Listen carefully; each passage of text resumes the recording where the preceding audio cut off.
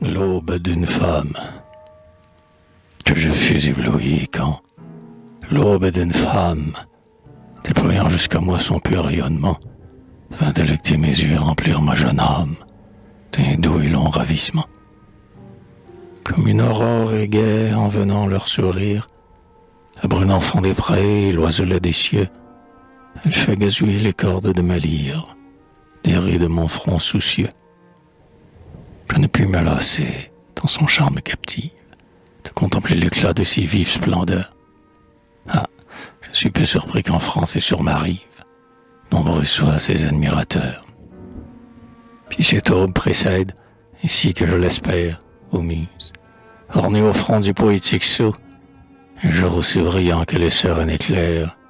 Ah, combien ce jour sera beau.